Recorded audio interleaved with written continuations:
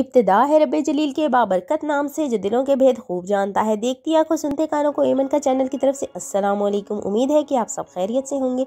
आज बहुत मज़े की आपको मैं नूडल्स बनाना सिखाऊँगी। नूडल अड़ गई थी, ज़ुबान ही अड़ गई थी। तो नूडल्स बनाना सिखाएँगे वेजिटेबल्स के साथ, और ऊपर बहुत ही मज़े का हम जो है चिकन के साथ इसको सर्व करेंगे। ठीक हो गया जी? तो उसके लिए हमें नूडल्स चाहिए होंगे। सिंपल नूडल बीस रुपये का एक पैकेट मिलता है।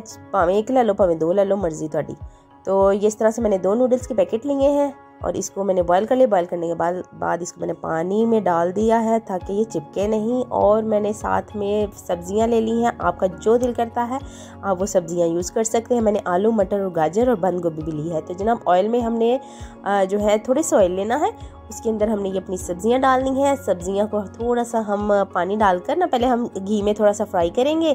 फ्राई करने के बाद फिर थोड़ा सा पानी डाल करके और जो हमारे पास साशे होगा, ये जो नूडल्स के साथ मिलते हैं साशे, ठीक है? नूडल्स के अंदर ही होते हैं ना, जो मसाले के पैकेट, वो वो हम पैकेट डाल देंगे इसमें ताकि वेजिटेबल्स में भी थोड़ा सा टेस्ट आ जाए। और हमें अगर नमक मिर्च थोड़ी सी कम ज़्यादा करनी होगी तो हम यहाँ पर ही इसको कर लेंगे। आप अपने पास से थोड़ी सी काली मिर्च डाल दीजिएगा, थोड़ा सा घर में से निकाल के इसमें थोड़ा सा नमक डाल दें, ठीक है जी? अपने टेस्ट के मुताबिक।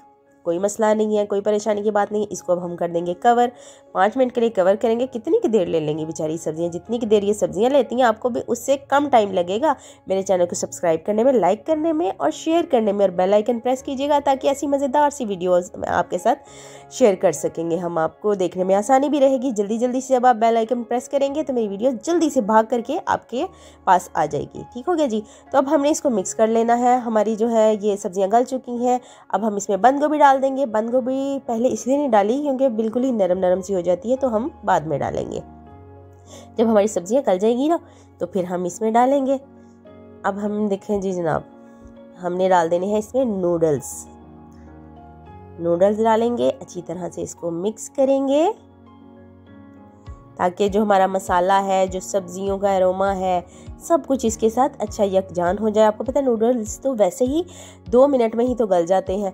तो ये गले ही हुए हैं ऑलरेडी तो बाकी का काम अब कोई भी नहीं है। कुछ भी काम नहीं है। काम तो वो था जो हम कर चुके पहले। ये देखेंगे।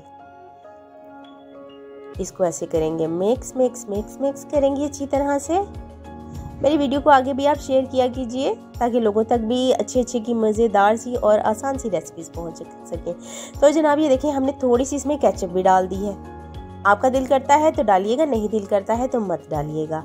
और ये जनाब, ये देखें, ये वो रेसिपी है चिकन 65 जो मैंने आप लोगों के साथ शेयर की हुई है। वही रेसिपी है आपने बनानी है।